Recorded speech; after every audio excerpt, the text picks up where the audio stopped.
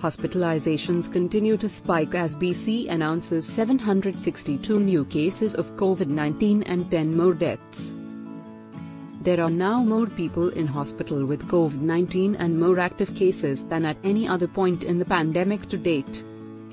Henry and Dix pleaded with British Columbians to put the brakes on the virus and help slow the second wave of this disease by staying local and following public health advice to prevent transmission.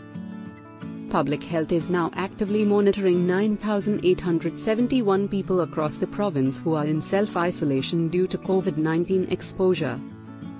The majority of the new cases announced Wednesday continue to be in the lower mainland, with 481 or 63% in the Fraser Health region and 210 or 28% in the area covered by Vancouver Coastal Health. On Wednesday morning, Surrey Mayor Doug McCallum said the idea of mandating masks within the largest city in Fraser Health is on his mind, though for now he still prefers to emphasize personal responsibility.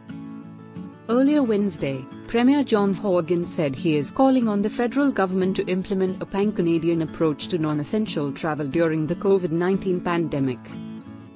Later in the day, the Premier said he had connected with faith leaders from across the province and encouraged them to limit in-person festivities for upcoming celebrations including Gurpurab, Hanukkah, and Christmas.